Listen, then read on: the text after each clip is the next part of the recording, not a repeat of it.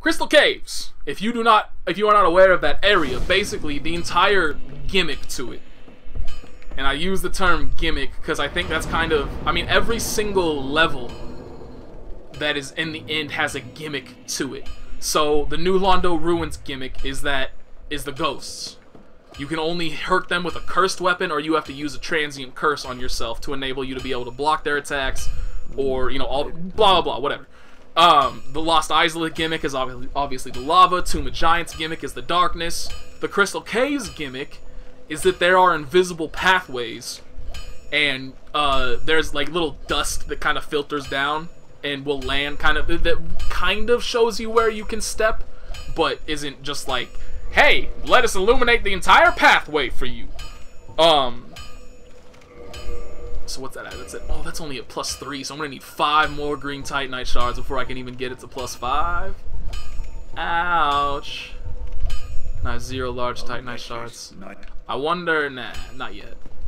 That's something to consider later once I have at least a bit higher stats to start using uh, souls on upgrade weapons, but for now... God, that only got me three levels. Ew. Um... But so, if you're only going to the boss, if you are going to avoid all the side shit, you're not going anywhere else, you're just going straight to the boss, the pathway is actually pretty easy. It's not terribly difficult to fall off. One of them can be a little awkward, uh, the very final one that you have to pass to get to the main section. But aside from that, let me see. Oh, actually, I'm where I want to be. But aside from that one little, uh, aside from that bit, it's pretty straightforward and easy to get through the area. However, if you want to get to the side stuff, you got to deal with this one sec. It curves all over the place. Uh, there's very little dust to highlight your way, so in general, you have to use like those 20 prism stones that I got from the chest if you drop those, they highlight uh, a path in front of you. And so the reason why they gave you 20 of those is because you can use those. So if you're not sure if the path continues or which direction the path continues, you can then just toss one of those downs and see, you know, does it fall to the cavern floor or does it hit the invisible pathway? You don't know. Um, but that one is just absolutely terrible to go through. It just, it sucks I can't. I have nothing good to say about it. It's just a bad. It's just bad design, unfortunately. Um, and so, but usually I never have to use it because I don't use weapons like that. Like the only magic weapon I've used actually so far throughout the entirety of uh, my playthroughs of this has been the Moonlight Greatsword, which you cut off from uh, Seath's tail. You don't use the regular upgrade materials. I think that one takes Dragon Scale. I think that's that's the weapon that I've used before that takes Dragon Scale. That and Priscilla's Dagger, those are the two that I've used. Um, and I think a shield, maybe potentially, not positive. Anyway, that's irrelevant. I think that one, yeah, it does. These dudes are so much easier to deal with, and they still drop the same shit. I don't know if it's the same exact chains. But yeah, it's kind of like, why would I deal with all those dudes when I can just come over here?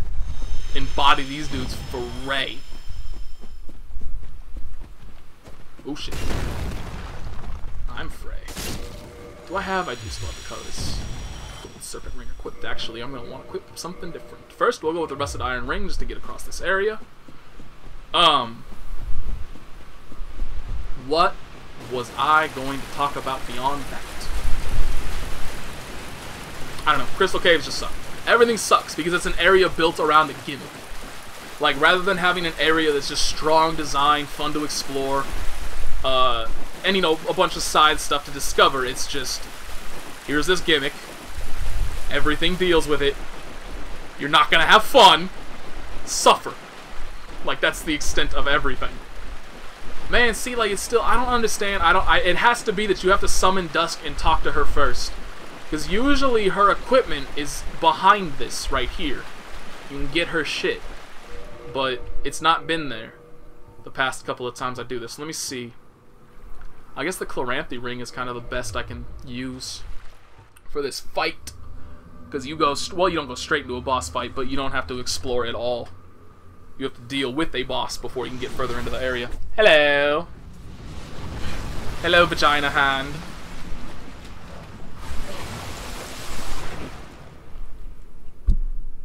Might I suggest a trim?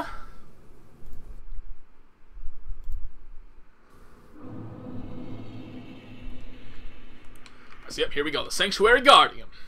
I'm sorry, the Sanctuary Garden, which is guarded by the Sanctuary Guardian. It's not confusing at all.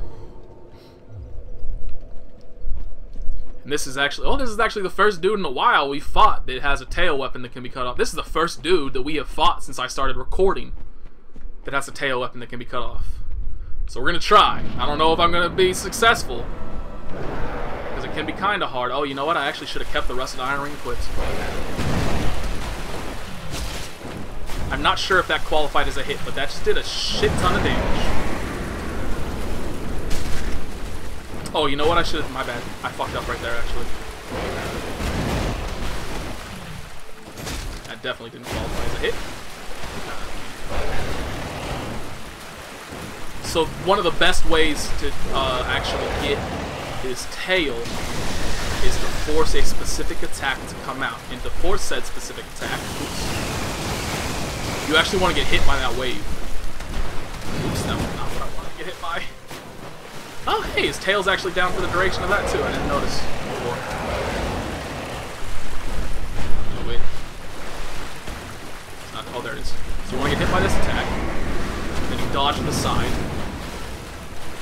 and you get the tail, or you don't get the tail. Oh god, that's not good. Ah!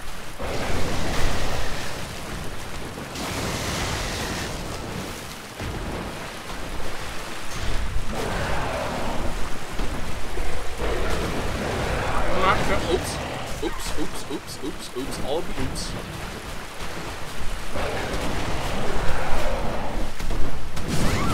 All of my oops. I mean, I guess it does give me another opportunity.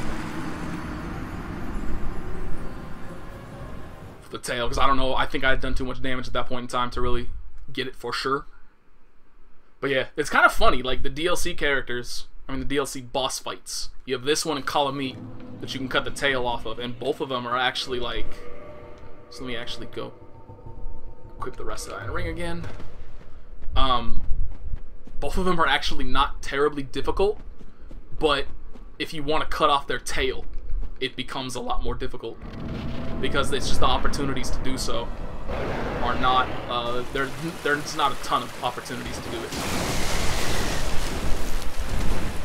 You can see like his tail's almost always up in the air.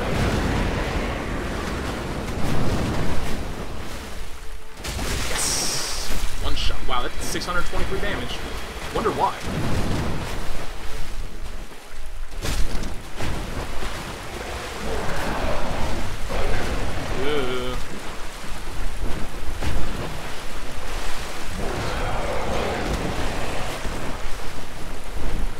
Oh, you know what? That was because I did the run attack. Oh god, that's not good. That's not good. Dude, quit the shit. Hit by that. Oops, oops, oops. That was actually bad. Do a second attack there. He could have done that uh, kick attack on me. And that might have one-shot me. At 20 vitality, that could very well one-shot me. You running away for? I hate this.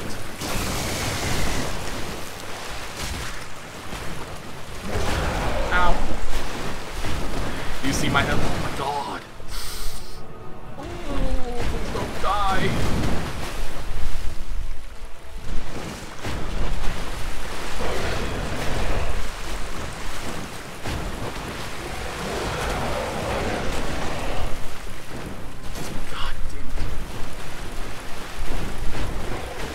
Doing? One more hit. Oh, this is tense. I should not actually be getting hit as many times I'm getting hit by this guy. But yeah, okay, cool. Unfortunately, you can't actually do anything with that soul. Like, there's no weapons for it or anything. You can just use it. That's it.